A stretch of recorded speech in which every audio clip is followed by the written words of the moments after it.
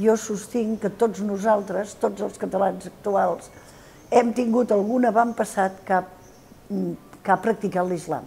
No parlo de sang. Això de saber o no saber què és l'islam, doncs depèn. Però sí que he de dir que, hi ha molt, que jo noto molt d'interès. És una de les tres grans religions monoteistes, les altres són el judaïsme i el cristianisme. Totes creuen en un mateix Déu i entenen Déu de diferent manera. No es pot judicar una religió perquè fan els seus seguidors, perquè les religions no són bones ni dolentes, són. I una de les manies que he tingut, jo ja tinc edat per tenir manies, com veieu, doncs ha sigut que parlem bé. Ells diuen jihad com un esforç espiritual de millora i de lluita contra el propi ego, sí, contra els propis vicis, però també contra eh, eh, els atacants del teu territori. Per tant, res a veure amb aquest pretès estat que es fa dir estat islàmic, que dubto que sigui estat, però afirmo que la seva, la seva conducta no té res a veure amb la doctrina de l'islam, els mitjans de comunicació no estan formats en islam, tampoc en judaïsme, tampoc en cristianisme, no és una crítica, però a vegades sembren confusions. Comencen a parlar molt d'islam amb motiu de l'atemptat terrorista contra les Torres Bessones. Mai se'ls hi va dir jihadistes en aquell moment. Que la paraula correcta per substituir fonamentalisme o bé integrisme era parlar d'islamisme.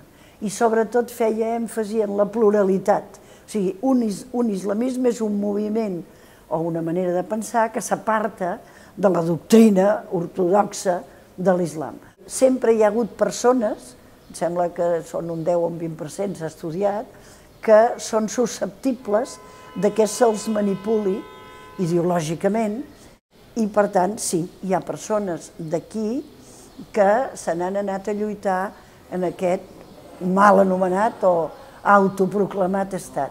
I juguen més factors. Per exemple, l'atur, el no tenir futur.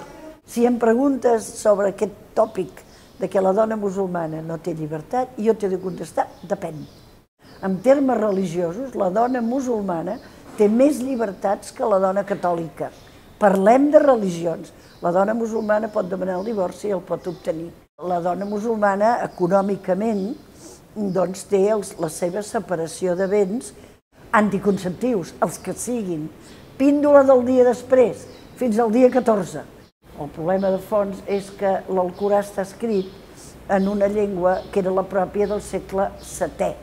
Ara no hi ha cap país que parli aquesta llengua ara. Per tant, els musulmans, és cert que la gran majoria se saben l'Alcorà de memòria, de la primera paraula a la, a la darrera, però això no vol dir que sàpiguen què vol dir. I si tu repeteixes com s'ha fet i com es fa, traduccions de l'Alcorà al castellà i al català, i al francès i l'anglès, etc. Pagats per això que jo en dic el petroislam. I tradueixes malament un passatge que diu tapeu-vos el sexe i dius que les dones s'ho tapin tot, però no totes les musulmanes, afortunadament, es tapen. Per tant, la conclusió és només veiem les musulmanes que porten vel.